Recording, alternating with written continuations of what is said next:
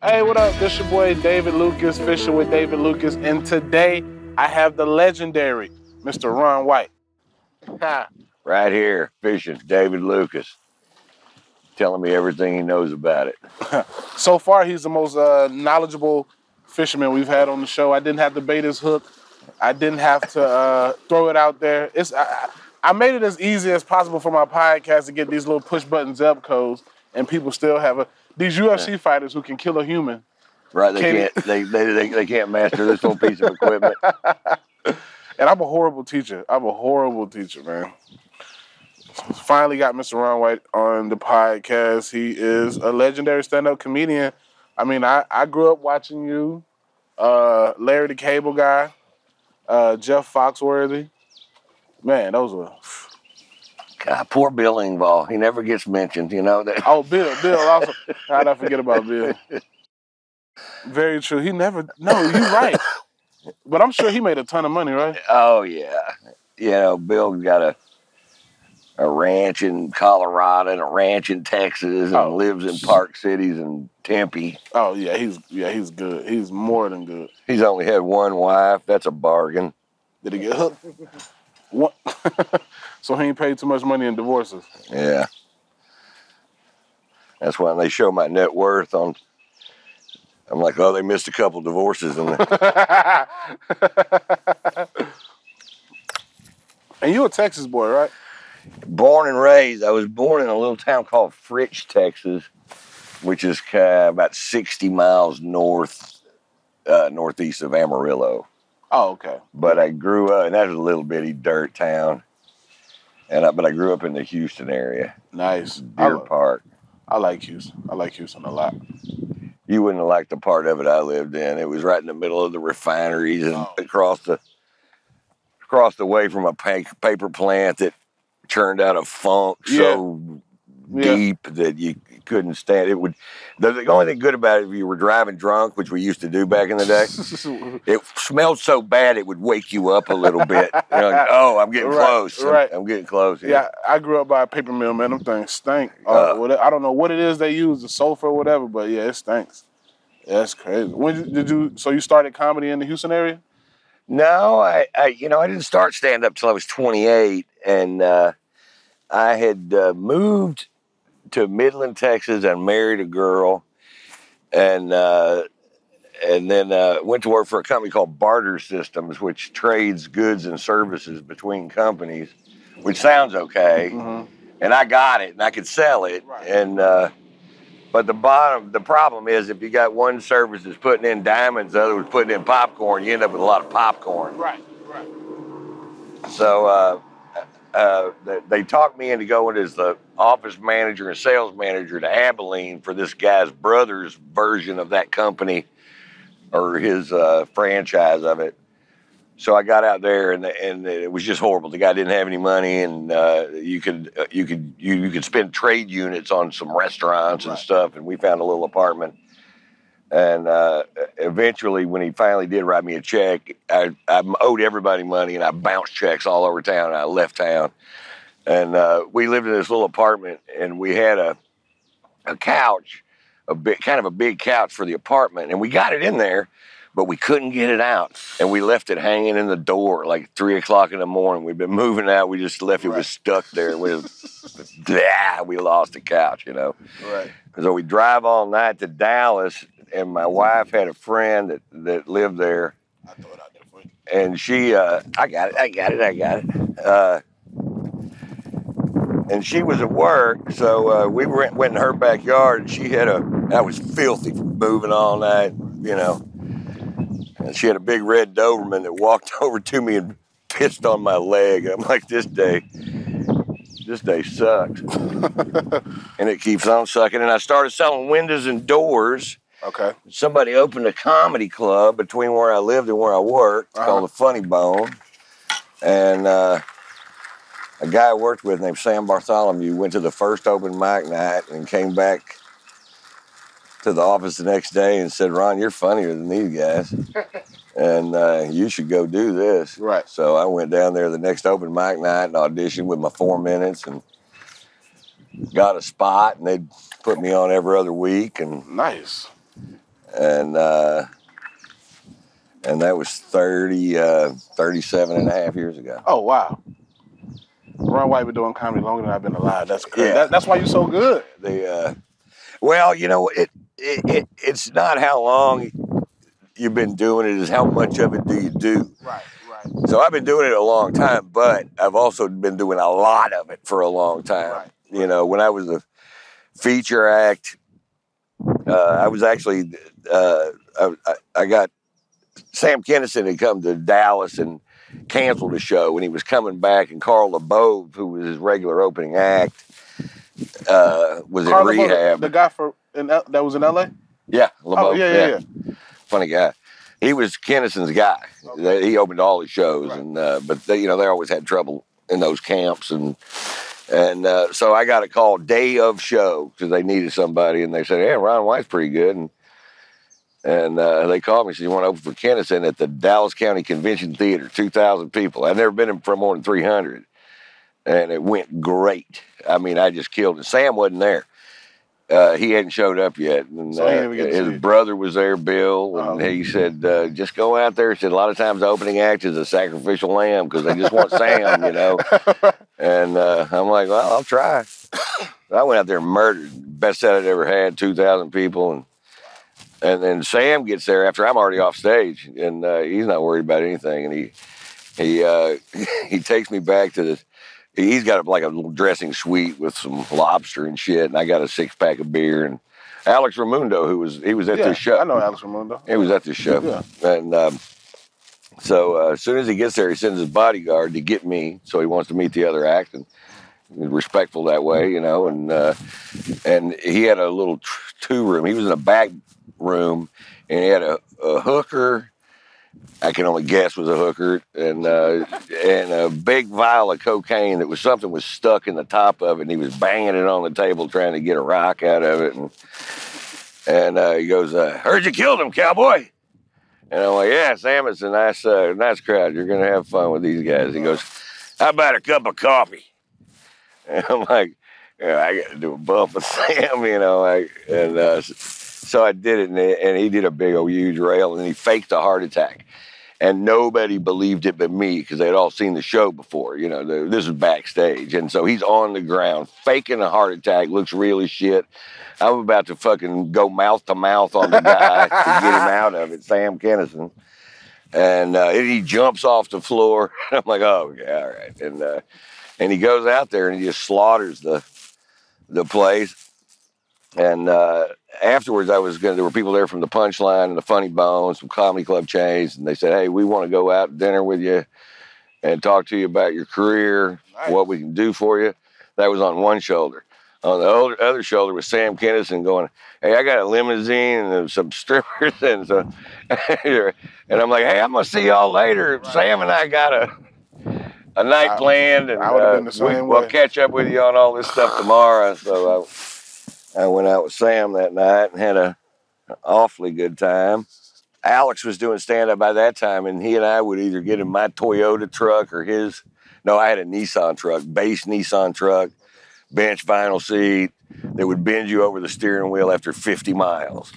And, uh, and or his Toyota that had big tires and stuff on it. It wasn't a great ride either.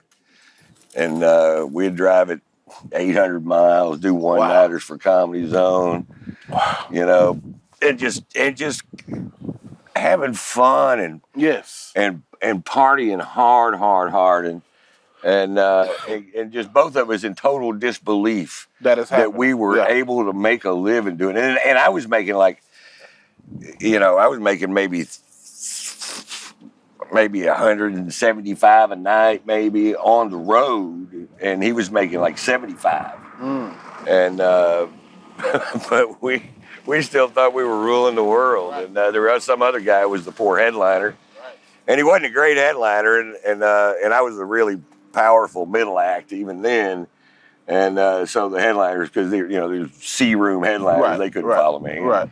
And uh, so we did that for a little while till I started getting the bigger jobs, and they moved him up to the next spot. So Nice. then we felt we felt like we were rich, you know, on- the road. Now I'm making a, a you know a grand, twelve hundred a week. Wow, For none of my friends made that much money back then, For real. and I wasn't paying my taxes, so you know it seemed like uh, I was making even more money. Paying those taxes is very important. It's very important, but if you don't pay your taxes for like years, and then you end up making a whole bunch of money, you can pay those back taxes in one night. And they go, okay, here's that money. We're square. Yeah, we're good. All right. Thanks for the loan. Right. I needed the money then. And, uh, you know, right. They don't care until you get a chunk of change. yeah, and then they'll come get it, but that's okay with me. So you started headlining pretty early on in your career, huh? I did. Uh, and I, uh, part of the reason why is I played pretty bad rooms. And the guys that they had just weren't that good. Right. and uh, and you know they considered me up up and coming, and I would do it cheaper, you know, so I would take the work from those guys. I didn't care. My goal was to bury everybody that went on behind me right. and get their job next time through. That was my whole plan, That's and uh, and and nobody blamed me for it. You know, that's what we're supposed to do. Show what the pecking order is always changing, and uh, so. Uh, you know, I went out. I know I told y'all the story about getting a horrible review out in California. oh, when you uh The- was it in San Diego It was in uh, Newport. where the guy wrote the article about you? Yeah, the horrible article. Yeah. And uh, and it was, it, but the, then the thing was, it was just the truth. It was just a bad, bad, bad review that made me. I can still quote it to this day. I read it so many times and agreed with it hundred percent. Mm. And uh, so th- that kind of caused me to go to just come up with a different plan, which is just stay in the Midwest where the work is and sharpen the blade. Keep Right. doing those long sets every night, and So, yeah. uh, and and see how good see how good you can get. Right. And uh, and and and actually, what that guy said was dead on, perfectly correct, and uh, I have no problem with it at all. It's that's what I should have heard at that time of Yes. my career. Sometimes we need that. And uh, yeah, yeah, the truth. Yes, Every once in a while, somebody's yeah. going to come tell the truth, and uh, and and and that's exactly what I did. I just went out and worked my face off, and just got. The only thing that makes you better at this is, you know, stage time. Yeah. That's How how much are you on stage? Uh, are you on stage every single day? Because that's what you should do. And uh, uh, you know, so that's. I just made sure I always had tons and tons of work. that's what I love about Rogan's Club, man. Like, I didn't realize it was gonna be like this. Like he said it, you know, like Yeah. somebody can say something, Right. but saying it and then actually seeing it, like in the last week, like it's the per like it's perfect to live in Austin because when I'm not on the road, I can still do headliner time. You know what I'm saying? Right. Like uh during my David Lucas and Friends show, I could do an hour at the end if I want to. 45 minutes, work out new material. And in between, since the club has opened, I've did like 18 spots. it is the best situation for a comic to be in is to have access to Austin, Texas right now. Yes. Because the you know, there's there's not that much stage time for people that aren't famous in LA. You know, the the big guys can go in and get their spots every week. But everybody else is fighting over a pretty small bone and uh, Exactly. but out here, you know, with uh, with the other things that are coming to town with comedy, that Right. Joe just embraces all of it. Come Yeah. on, bring clubs. We'll make this the comedy destination. Exactly. Like, yeah. Like, but I, I'll have the opportunity, and so will you, right, to do four sets tonight. yes. Uh, and uh, there's no, you know, I really felt like when I, I when I didn't do stand up for 15 months, and I was really thinking about quitting. And uh, Oh, that was that was that show in Austin when you first came back on stage after. Chappelle and Yeah, yeah, yeah. uh, yeah those I was, shows. I was there. and I was, you know, I was pretty dried up. And if it would have gone on much longer, I would have been completely dried up. And uh, so it was really Joe and and uh, and Chappelle and getting back in with the tribe that I'd been separated from. You know, the guys that love what I love, and Right. and, the guys and women that that have chosen to do with their life exactly what I chose to do with my life, which was to go around and make people laugh and see how that works out. And uh, so, and Joe just would never hear about me retiring, and and and so then I went around and finished all the dates that I had on the books. I got my chops back, and uh, but I made a decision to retire, and and that's what I did at the end of the year. But this club, it's too hard to resist. It's like a warm bath, man. The best sound I've ever heard, the most beautiful club that's ever been imagined. And, uh, you know, it was like Rogan's gift to the comedy community and to Austin. You know, he didn't need that. No. And uh, he did it so we'd all have this great place to grow. And he's such a, you know, a, a, cool part of the comedy community, you know, and generous. And, like he's you know. like he, he's like the new version of Mitzi Shore. Yeah, he's the new Mitzi. Like what he has created is insane, insane, man. It's I don't. Yeah, it's. I just, I just, everybody get tickets. That's all I can say. Just get tickets. You're gonna see some great comedy there. I haven't, I haven't seen a bad set yet. Yeah, and uh, you know, Chappelle came in the other night. Uh, that crowd, that's the big. That sounded like he walked into an arena. Right. They were and, so uh, loud. They were so loud when he walked on stage, and uh, and uh, you know, you, you can't help but uh, look at at Chappelle as the as the as the goat. You know, just it's hard not to see it that way. Right. And he proved that to me watching him do those sets in Austin outdoors, you know, and the things he was talking about, he was taking them straight to the stage and killing with them. And I'm like, man, what a master of this. And uh, uh, so, uh, yeah, you him, know, him and Louis C.K. Louis C.K. brought me on the road with him, and I just, it was like, like I, I, this dude was born to do comedy. like, same with Chappelle. Like, it, it was inevitable. Yeah, I went to see uh, Louis C.K. at the Creek in the Cave, and uh, man, I forgot how funny he was. And he would just blister in that room. And he was walking out on some pretty flimsy limbs and just jumping on them, daring them to break, and uh, and then had somewhere to go with it. It's right. fun to watch. His uh, religious bit. Oh yeah, it was his religious bit. It's like this. Nobody, I've never heard a religious bit that good. In all honesty, ever. So. Yeah, I went. I went, went and sat down and talked to him for a little bit afterwards, and uh, you know, it's, and that's you know that's what's gonna. Uh, uh that that's gonna who's gonna be attracted to this club is the guys that are the, the, the, the big guys that are doing these arenas are going to need a place to come and work out and settle in and do a week or two and you know uh, and we're already seeing that happen. So uh, it's just the it's just the, the best thing. And you never know who's gonna pop in. Right. You know what I'm saying?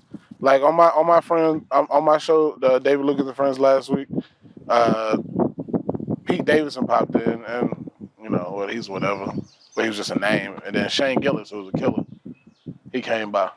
So that was some dope pop ins that just showed up. Now I got one this week. It's fun. If you want to do some time, let me know. Friday. The uh, well, the problem I got, this is what I'm faced with, is that I've got a, I got a girlfriend at home. And if I start spending five hours a night at the club, she's going to move back to California. Right. It's so easy to be there five I, hours. I, I want to be there. And then when I'm not at the club, I feel guilty because I feel like I ought to be up there helping make it work, you know. Like, and uh, which is pretty arrogant. Think it doesn't work without me, you know. But uh, no, but I do. I feel like I want to do my part, you know. To uh, and I know I add something to it just for a big name and and uh, go up there and do a little set. Keep you know, just keep it all in my head. Yeah, I mean, I bring you up a lot in the tag team system, and uh, the pops you get every time I say Ron White, massive, massive pops, man. So it's like, no, I I totally get you. I, I but yeah, you got it. She don't want to come up. Yeah, that's it? like chicken skin. Those massive pops. I could just do that over and over. Just have just hear that noise right. and, and, the love. Right. It's, it's, like eating fried chicken skin. Look at it. Not too much substance there, but God, it's so nice. Now that you're a big established name comedian, Is it hard to work out like new jokes, new premises? You know, Damn, it, something got me too. yeah. So we should, we're, we're close. Yeah, something something got. Uh, is it hard for you to work out new premises now? It, you know, I can I can do it. Uh, the uh, the thing that I need from the club is uh, pace, rhythm, and timing, and uh, you you you, you got to do stand up so much that it doesn't make you nervous at all. Right. That it's just a day at the office, and uh, and so Yeah, I, I'm at like seven years and I still get nervous. and and some of that's fine, you know, some of that's fine. But uh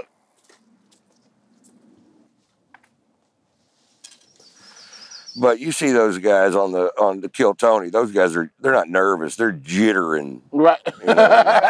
uh, yeah, they are. Yeah, they are. and clueless. But I also can't imagine I know I was nervous the first time I went on st- stage and and a million people weren't going to see it. Right. People always ask me for advice for Kill Tony. I'm like, bro, that shit can make or break you. You don't want to get good before you sign up, Right?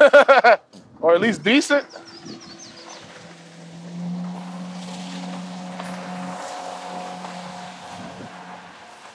But like you said, if you bomb, a million people gonna see you bomb. Yeah, and the crowd doesn't care if you bomb or not, No. and they're not going to give you anything that you don't deserve. No. And then uh, that, that's what's so brilliant about Tony's show is the show is Tony Right. and the and the guests, Right. Because that's what's going to make it funny anyway. Right. What they do doesn't even matter. They're like a stage prop, you know. And uh, but it is a genuine opportunity because I've seen people move from that, you know, uh, uh, into a career that's moving forward. You know, I mean, that's what happened to me. and that's off of Kill Tony. Kill Tony, Dora Guy, and uh, clips going viral on YouTube and TikTok. But I mean, my my start was on an All Def Digital show. Uh, well, in, well, actually, my start was in high school. Like I popped real hard in high school when I was like 17. I got on MTV and I thought I had made it. I think they paid me like five grand. Oh wow! Yeah, I think they paid me like five. This was like 2008, and uh, and I thought I made it. I was like 16, with 16, 17 with like five thousand dollars. I was like, I'm famous. Yeah, now. right. I'm And like, rich. I'm rich. Rich and I thought famous. I was famous. And then uh, I quickly that's I, I got into comedy from doing the MTV show because the writer suggested that I do stand up, and then I was just going up with all this stupid, arrogant confidence and bombing my ass off. Because I had to, like, I thought I was better than everybody. Right. I thought I, I was like, man, I'll be a millionaire in two years, man. Right. Yeah, yeah. I, I I go I go. Uh, you know Bruce Bruce. Yeah. Oh yeah. So he used to have a room, and my mom would. I was so young. My mom would have. My mom would have to go with me, and I would have to leave right when I got off stage. But I remember, um, Oh, I didn't know any of this about you. yeah, yeah. My mom would have to go with me because I was. I was like, when I my first time doing stand up was like when I was seventeen. So uh, my mom would take me to these like, and the only time I would do well is if I roasted a member in the audience. Like that's the only time because I just didn't have jokes. I did, and and the the the worst thing when you first starting out is to be overconfident. I was just like, they stupid. They don't know nothing. Right, Like, right. And you know, I I wouldn't listen. Bruce would give me advice, and I'm like, man, in my head, I'm like, man, I'm better than you. I'm on. You on MTV? like, Yeah, right. So um, it took me like How much money you got in your pocket right now? Exactly. I still got thirty eight hundred. So um, I remember the first thing I did with that money. I went and bought. Uh, I love speakers. I went and bought these big ass subwoofers and put them in my truck. And uh, I think I bought my mom a purse. And then after that, I had like two thousand dollars left. And like I took my mom out to eat. like I like I felt like this five thousand gonna last forever. You yeah, know? right. And then when I went to college, I stopped. I stopped doing stand up because I was in college, of course. And then once I was done with that, I um I started back doing stand up again. I had moved to LA and uh, started like starting over because you know like you move to LA, you realize your little MTV credit ain't shit. You Yeah, know what I'm right. You, you you signed up in open mics with people who were just on a soap opera or, or got a movie. Like the comedy store did not care about any of that. Uh, I met Mitzi right before she started declining, and sh her and what was his name? Tommy. Remember Tommy? Yeah. Tommy did not care. I like I remember going up there in the daytime. And, no, that's me. I'm reeling it in. I remember going up there in the daytime and uh, I told them, I'm like, yeah, man, I need to be on the show. I did MTV. and and uh, I think that night, uh, who was there? Uh, what's that guy's name? I can't even think. Um, he doesn't curse. I can't even think of him right now. He doesn't curse. White dude. He lives in LA. Um, I know who you're talking about, and I can't think of his name either. uh, I can find out right now. This is exactly what's wrong with my brain right here. Jim Gaffigan. Oh, okay. I was thinking about somebody else. Uh, so Jim Gaffigan was going up that night, and um, I watched, and then I realized, like, man, I'm, I'm not funny. I, I don't know what I'm doing. I got to see all the other people who are going up. I'm like, yeah, I'm not funny, man. I got to figure this shit out. And then I just started pounding the open mics and pounding the open mics. And uh, like you, like you were talking about, you and your buddy driving 800 miles. Like, man, me and my friends would drive from L. We pack up in somebody's car and drive from L.A. to San Francisco to make seventy-five dollars yeah. that, but that those were the fun times, and you know, I took my career a little more serious than a lot of my friends, and I started climbing. I became a door guy at the comedy store. Then I, I, I got on Kill Tony, and just kept going. Signed a great management and an agent. And you just Now, do you have? Uh, I always uh, see you as having a lot of acting potential. Have you? Have, yeah, I do do. you act? Yeah, I also. do. I started acting first. I was uh, doing like theater and stuff when I was like in middle school and Right. uh, church plays. But yeah, uh, I do need to get a theatrical agent. Yes. I do. I love me some acting, and that'd be perfect, man. Because I'm, I'm um now that like I'm in my thirties. Like, You're a fat guy with a beard, and that's really in. right. but you got that pretty face. You know, you got that pretty face, the interesting hair. Yeah, I get it. I get it. but now I'm at that part of my um, career where it's like I want to. I love being on stage. Don't get me wrong, but I'm like, all right, how can I make money without being on stage? Right. Because now I have to. I mean, you know, I do my podcast and stuff, but it's like I need to book a movie, a TV show, but I don't want it to take me away from stand up. Well, what happened to what happened to me is I, I, uh, I didn't get famous from television.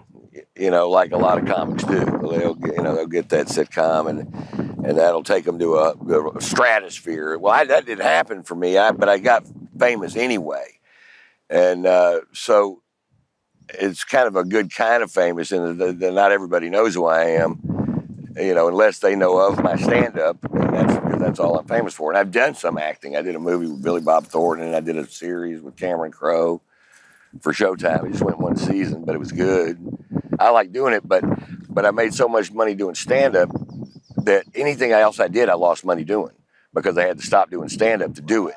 And uh, so that was that big, you know, big guaranteed checks coming in every week and uh, you got to stop doing that to try to get another brass ring when I've already got a brass ring. And I'm like, well, why don't I just keep this one? So I never, uh, after uh, the the Cameron Crowe uh, series, which was called Roadies, uh, didn't go to a second season. Mm. I told my guys, quit looking.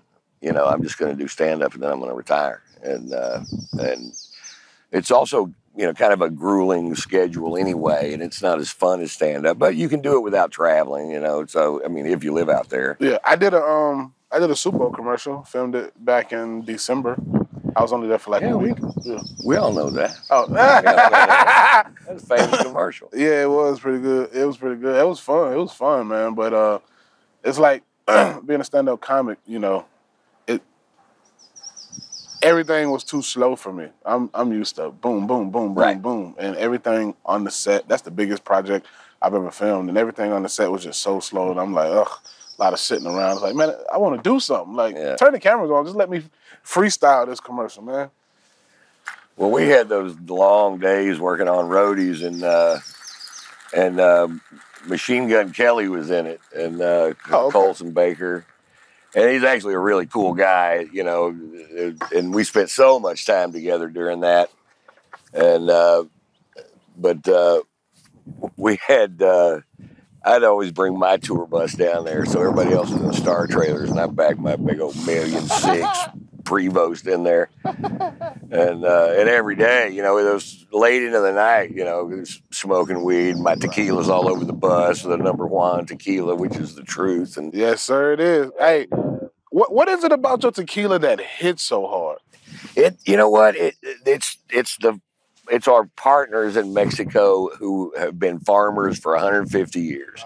They understand ripe, and uh, and they understand how to pick agave, and you you know it's and they don't compromise. Right. They're they're after that uh, as good as you can get number, uh, and they're just really good at it. You know the uh, you if you start with the best and you do it the right way. You know, it's expensive to make, but if you don't have a gigantic advertising budget, you can still sell it for a decent price. Uh, a lot of those companies will, you know, it start off with with a pretty good product, and they'll go to picking those plants early, so you can still call it 100% blue agave. But what really matters is how ripe was that plant when you pulled it? Was it seven years old? Was it eight years old? Was it completely ripe? Well, no, no, they just harvest it, you know, and uh, so they can call it blue agave, and that's why it'll have a bite to it, and mine doesn't have a bite to it, and it's just clean as it can be. You have your reposado is great, but you have the best blanco in the game. Well, the, the anejo a little too strong for me. That the anejo puts me on my ass. well, it's the same strength. It's I don't so know. drinkable. Uh, yeah, that's my.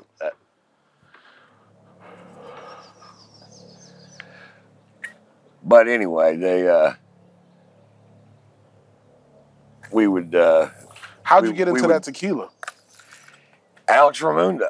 Oh, Uh, he's my partner in it. Uh, he and I were down there on a crawl, and he's born in Mexico. Right. And, uh, uh, so he had a buddy that's in the tequila business. He said, "Don't forget to go to the Rebesca's distillery."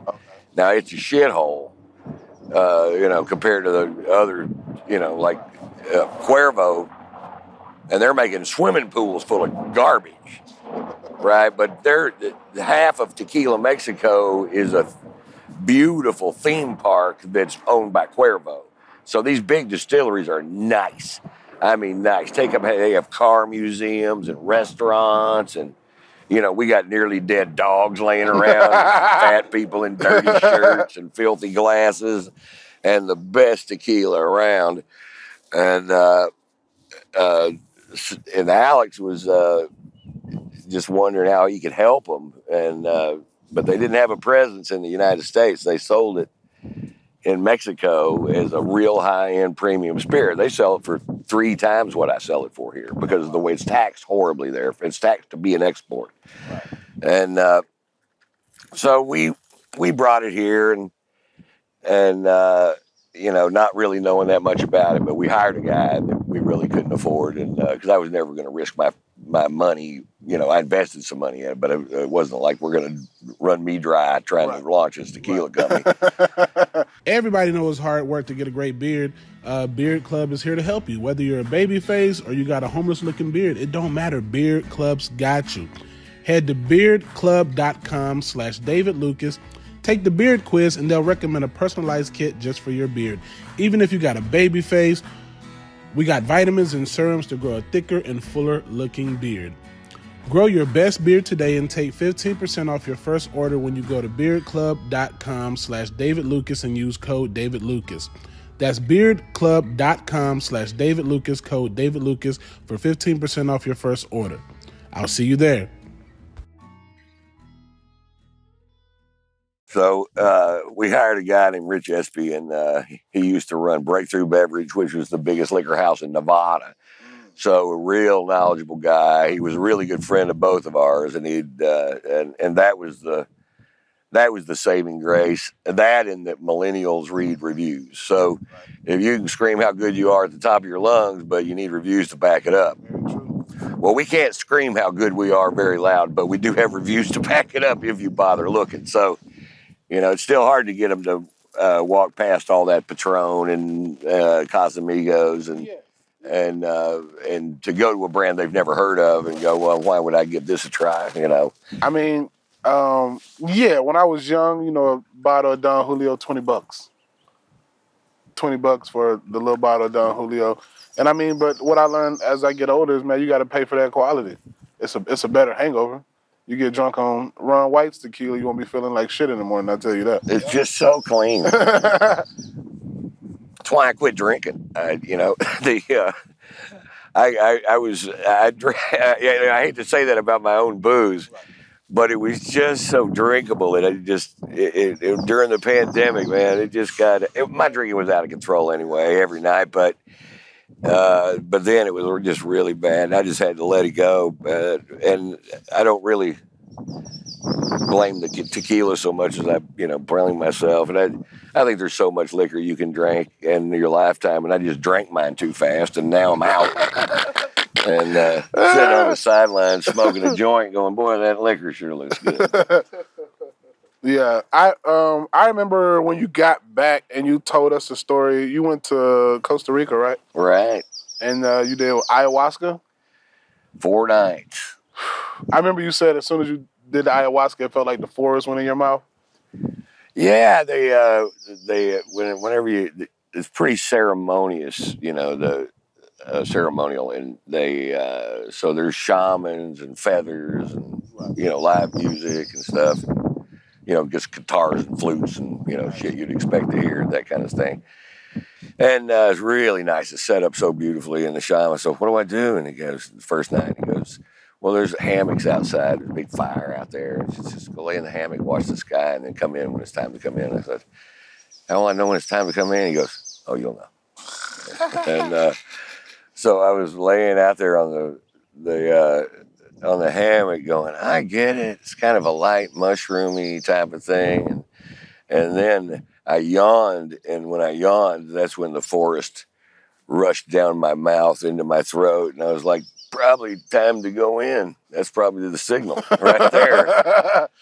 So you, you go in and you just say you have a bed on the floor that's all made up, it's really nice, and then you have a puke bucket, which is uh, or you get the shits. I got the shits, and uh, and I would way rather have the puke bucket thing because you can just get your bucket and throw up in it. You don't have to go to the bathroom and. You, I never thought I'd walk into a room full of people throwing up in buckets, going lucky, lucky people. That could be me. but um, So the ayahuasca trip was kind of like mushrooms. it was no, no. It was so much more intense and colorful, and not uh, in a fun way. The first night, uh, it just it was just so dark, and I just wanted it to end. But the beautiful thing about ayahuasca is it does end. You know, just two and a half hours into it, you're done. So you can do as much of it as you wanted, but you couldn't do it past a certain time. And then at midnight, they just turn on the lights and go, "Good morning." And when they do, it's over. And I'm like, "Wow, well, I can do this," because I was thinking, I ain't doing it again. I'm not gonna do it again. Right. And uh, uh, so the, and the, the next night, you know, it was just pure love, you know. And when, while I was the first night, I couldn't even get off my fucking mattress. I couldn't even scratch my fucking head. But people were dancing, you know. So you know, a, how's that working out? I can't even get up. And uh, but it was, it was, it was, uh, it was a great experience, and I can't wait to do it again. Don't they do it like in uh Den- around Denver somewhere so, or Utah? Uh, you know, they do it. They do it in Beverly Hills. I know because that's where I found out about it. But uh, this place called Rhythmia in Costa Rica, it's number one. It's in Costa Rica, and everybody should go to Costa Rica. Right? That's the greatest place on earth. And uh, and the way they do it there is kind of like a, high end resort. It used to be part of a JW Marriott, and Oh. so it's the, the jungle side. It was like overflow, Nice. and so he bought that, and turned it into this clinic. So it's a medical facility, Oh, but uh, but it's it, it's one of the highest rated uh, experiences on TripAdvisor. It's like a full five star uh, uh, TripAdvisor thing. So people go there for vacation.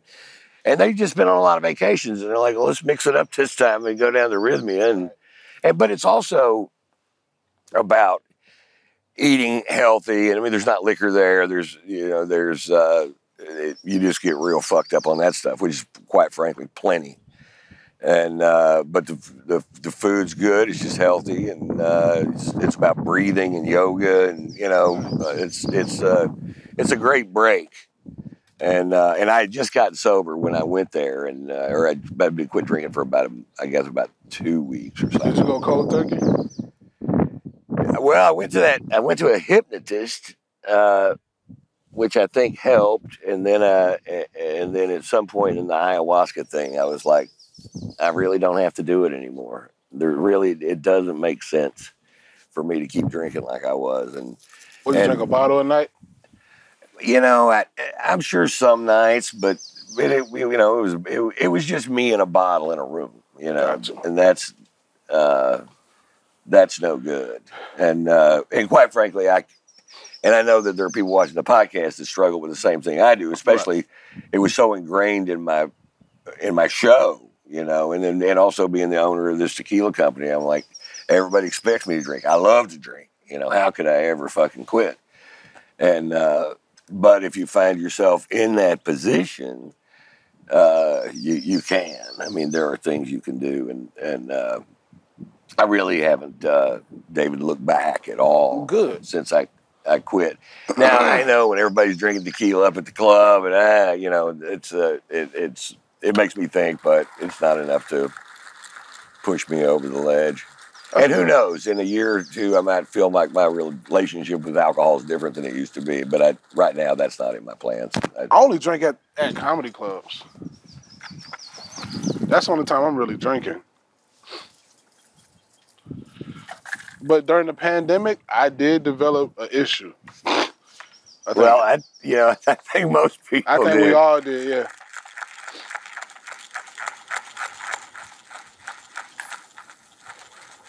Good one.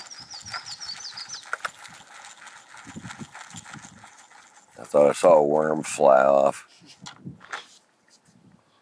Come on, baby, give me a little something. That's what I'm saying. I need a little something, man. We on Lake Austin. How we ain't getting no bites? There's fish up here. You know, I lived up in on uh, LBJ, and there's just all kinds of stuff out there. Big old striped bass, Oh. 35 pounds. I'm about to show you. Uh, Big old hog legs.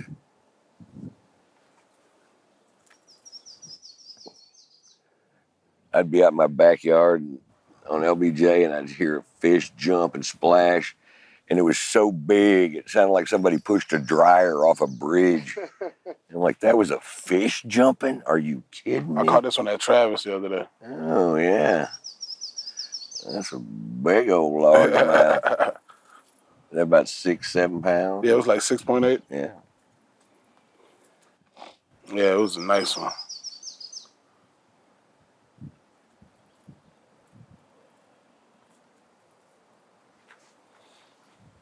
It was a nice one, baby. It was beautiful.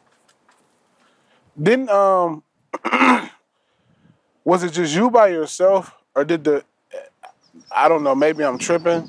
Didn't the blue collar comedy tour uh come to Macon, Georgia? Oh, yeah. Yeah, I thought so. Absolutely. I, I that's uh I remember seeing the commercial. Yeah, we toured everywhere. We we went nuts with that that tour. That was a uh, for about three years. We ran it nice. really hard, Nice. and then we got to where we would just get together and make movies. Because as soon as as soon as me and Dan started making enough money on our own, we were like, yeah. yeah. right. and uh, and uh, that was all just a you know a gift from uh, Foxworthy. You know, Foxworthy could have given that job to anybody Right, else. right. And uh, and he gave it to me. And he and I had always been, you know, good friends since the day we met. And uh, you know, he uh, that was him being generous with the stage, just like Joe is. right. And uh, that stuff matters to young Yes, comics. You yes. know, it really does.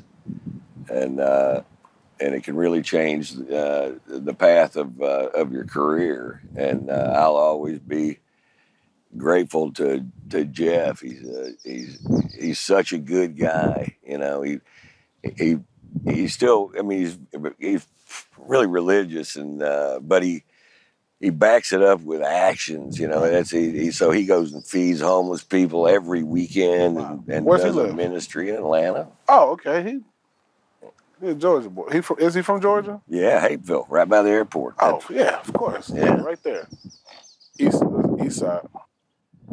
Yeah, so uh, and still doing well. Got grandkids now, so he, He don't he don't get on stage no more, huh? He does. Uh, you know, he does. Uh, he still does uh, some touring. I mean, I really don't. I haven't talked to him in a while, but uh, but yeah, he still does some stuff.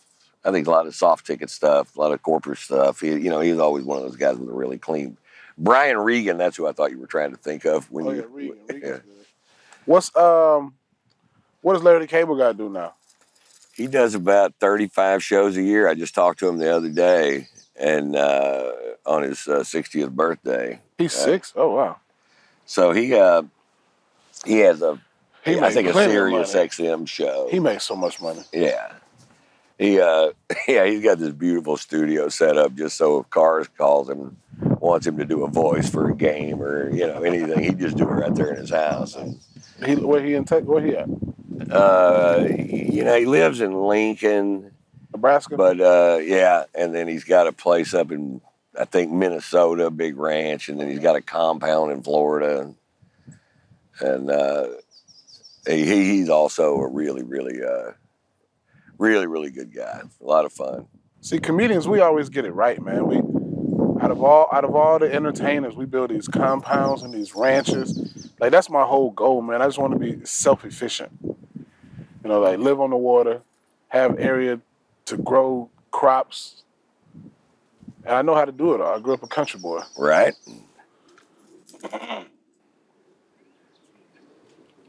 Plan for the apocalypse, like Rogan. You ever seen his apocalypse car? His what? That apocalypse, that doomsday car he got. Uh no. That Just think- when you think you know everything about somebody. it's like a Land Rover. He's like tricked out. It looks like it'll drive through a building. really? Yeah. No, I, I, I but I love that new car, that new uh Escalade. Escalade? Oh. That thing is that car doesn't know what it is. No, no. It's confused.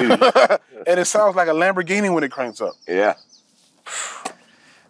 Stupid car. And you're doing uh you're doing uh well by the time this aired you'll already have done it. But uh you're doing the opening headlining weekend at the club. I am a big honor. Uh, uh, you know, it, it's just one of those. It's one of those things where uh, Joe just uh, did what he could to keep me from drying up, you know, and uh, give me goals to, you know, just to. And you know what? He was a hundred percent right. Uh, I was in a bad frame of mind when I started uh, thinking about retiring, and I'm and I'm still, even though I've got an offer for a big tour right now, I think I'm going to turn it down. I think I'm just going to do stand up in town. Send it to me. I'll, And, I'll uh, do that to her. It's a good one. Yeah, I'll, I'll do it. Tell him you got David Lucas. Yeah. Me and Tony will take it. I saw your uh, tour bus. That thing is nice. Yeah, I miss that. You know, I- and and and and, and I, I do miss some of the traveling, but you know, it's uh, you know, I always had that sweet gig in Vegas that I did like ten times a year, and the Villa and Butler and limo, and you know, it's it's hard to give that kind of stuff up, but Right. you know, My biggest venue's coming in uh, July. I'm doing the uh, Sony Hall in New York. And my manager set up a driver. I'm like, oh shit, man, I, I got to take an Uber. like, I got a driver. It's a big old theater. I'm like, whew. So and much that's your show. That's just my show. I'm headlining. yeah. My we because he's trying to see how like a theater tour work. Like Right. like the smaller theaters, like you know, like 500, 500 to twelve hundred. Cause- it's like what I do because I'm I'm I'm at the point now where I'm selling out my weekends, and it's like you can do a theater. We can get you a sprinter, and you can do a theater here. Then the next day we drive there, and he's like, you'll make in one theater what you'll make the whole weekend at a comedy club. So I'm like, let's do it.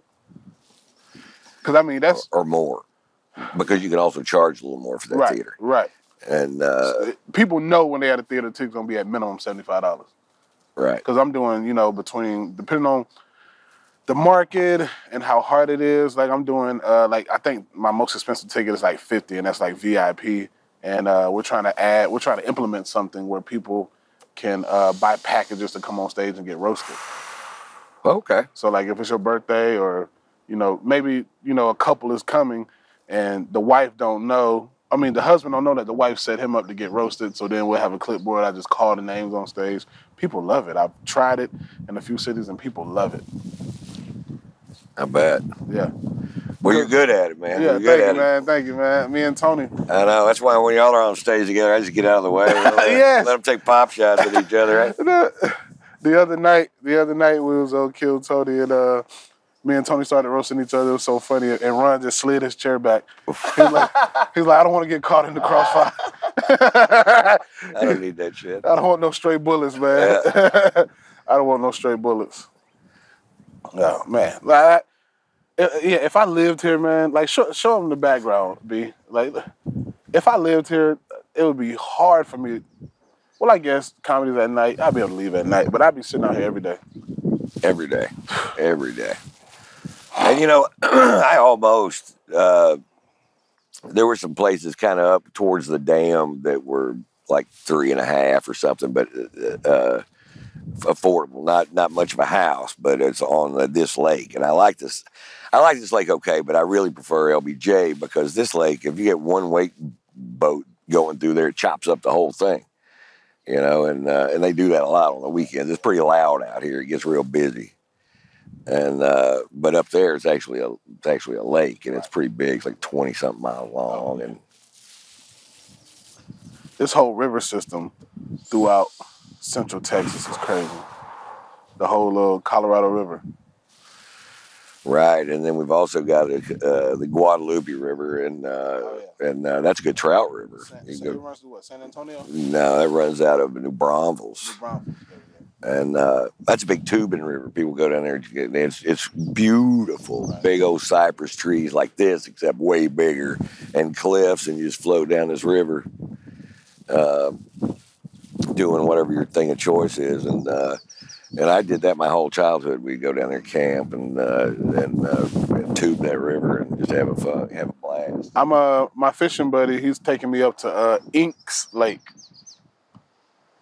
That's a good bass lake. Supposed to be a good bass lake. I'm, I'm a I'm a largemouth guy. I'm a Yeah, you'll get some hogs in that lake. I was on Inks Lake and uh, with a comic named Michael Floorwax, and he caught a, a 13 pounder, just uh, yanked it right out of a bush. And that don't I- even sound like a. Is that a a, a performing name? Floor wax. Michael Floorwax. That was his name. Yeah, was it a stage name? Yeah, it was. Oh, I'm like, He was bizarre. He ended up getting into radio. He was really he had he had a is that the prop comic? no, he's not really a prop comic. But he would do weird stuff on stage, It right? just we very bizarre on stage. Chris And- Rock was talking about him. yeah, Chris would have known him. Yeah. Yeah. he's out of like New York or somewhere, right? Or the East Coast. No, he's out of Denver. Oh, But I, I remember Chris was talking about floor wax when he was here in town. That was so funny. Yeah, he was a big club draw for a while, but he had a hard time moving from that crazy act to another crazy act, Mm. and uh, and then he got somebody offered him good money to get out of it, and he did. Yeah, once once once you get out of stand up, it's hard to get back, man. Like when people talk about Eddie Murphy coming back, he ain't did stand up in 30 years, and what is he gonna talk about? Yeah, but he's Eddie Murphy. You know, I, I saw him do a uh, an int, uh, oh something. I saw it on TikTok or something, and it, and it was something he had done recently for an award show or something, and it was brilliant. And uh, but I've seen guys, you know, that's the the trick is to get into those theaters and stay in those theaters. And uh, and I've seen guys who are really good at they couldn't do it, and uh, so they'd get into it for a little while, like right after a special, and then they'd float back to the clubs, which is compared to theaters, you know, it's mostly you know hell and, Yeah. uh, to go back. Uh, yes, uh, absolutely. But you guys have got these podcasts feeding it also, and then and and then the, the and then our tribe here, you know, if you count Joe, we got pretty big reach, and uh, Very true. so uh, you know all that drives business, you know, Yeah. and, and and that's You like like I, I believe I think it was Rogan. We, we were having a conversation, and he was like, "The sell out theaters across America, all you got to do is appeal to one percent of the population. right, and you're good. And Yes. you're good. That's insane. That's like, what we got?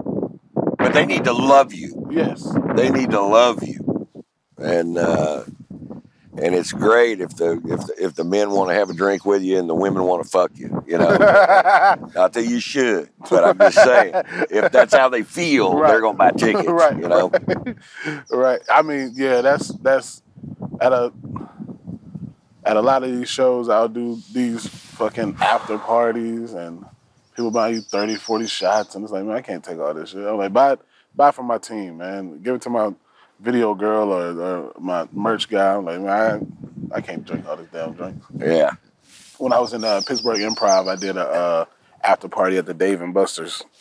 Horrible and a great idea. Hanging with the people was fun. yeah. But then once you got 18 drinks in front of you, it's like, well, Yeah, especially when we had the tequila company in it. Alex and I, Alex kept touring with me after he was in the Latin Kings of Comedy Right, with Lopez right. and those guys. yeah. and then uh, and then eventually he came back to work for me, and uh, so we'd every night we'd have something set up with a bar in town with a band and our tequila. So we'd hit the Oh, wow. we'd go straight over to live music and uh, and bring the crowd with us and and uh, just total mayhem. How did fun. how did you uh, ever hook up with Jeff Foxworthy? Oh, Jeff was just uh, you know he'd come down there and headline those uh, those improvs in Dallas and Fort Worth, and uh, so and I was uh, you know I was really uh, pretty smart when I started in that I saw that there were four clubs in the Dallas area, and all the opening acts sucked, including me, but most of them weren't very good hosts. So I focused on being a good host, memorizing my notes, doing a good job, you know, making it feel like show business when other guys are up there fumbling with pieces of paper, getting the names wrong and all the stuff. I never got them wrong. Uh, I just went up there and did a great job of hosting that show. And then they kind of forgot about how much I sucked. And uh, because I really took the job serious, and so I got more stage time than anybody else, and I didn't suck that long Right. and uh, and so he and I he played golf back then, and, uh, and he and I hit it off big time. And Vic Henley, uh, who passed uh, during the pandemic, and uh, so uh, you know we've been friends ever since. And uh, so when he uh, we were flying around on that jet that he was leasing, doing his shows, I was opening for him. And he told me about the blue collar tour, and I said that's retarded. Why would you have four comics in a show? And, um, and I'm like, I, I have no vision at all. I, if it's if it's not already sitting in front of me, I can't see it. So How much time were y'all doing? I was doing ten minutes. Oh, wow. And Dan was doing ten minutes, and then Bill would do fifty, and Jeff would do fifty. And y'all were making great money. No, No? we made good money. Me and we were the opening acts. This was Jeff's money. Okay. So they would pay us, you know, real good for what we were doing, you know, doing 10 minutes. But that was what was so perfect about the blue collar movie was I got famous off of 10 minutes. So I had this big old hour that nobody's ever seen. Well, mostly, usually people burn that hour getting famous, and then they got to go run out and get another hour, and it ain't as good. and uh, so, so I had all this popularity, and nobody had seen this show that was tight as a gnat's ass. And so I got to go out, and now it was a lot bluer than the blue collar stuff was. So a lot of people were offended when they came out to see my regular show and uh, but whatever, you know, it worked. And uh, I was, you know, I'd spent years in saloons doing stand up. I knew these people were just like me. Right. And uh, well, and the manager guy was going, "You need to be clean like Jeff." I'm like, "Well, Jeff's like Jeff. I need to be like me. I got to be." If you if, instead of if you're not true to your nature, you're fucked. Uh, because that's the only thing that's interesting is who you really are, you know. And if who you pretend to be is never interesting to anybody, and uh, the sooner comics figure that out, Yep. the the further they are ahead in the game. Absolutely. Abs- absolutely, man. Well, I could be here all day, but uh, we got to wrap the podcast up. Ron White got stuff to do. I got stuff to do. I appreciate you, buddy. Anytime, my Yes, friend. sir. And I'll see you tonight. Okay, right? I'll be there tonight. Yes, sir. Me too. I think I'm gonna do all four rooms or all four shows. All for yeah. That's that's the goal. Yeah, I I I, I still haven't done one in the little room.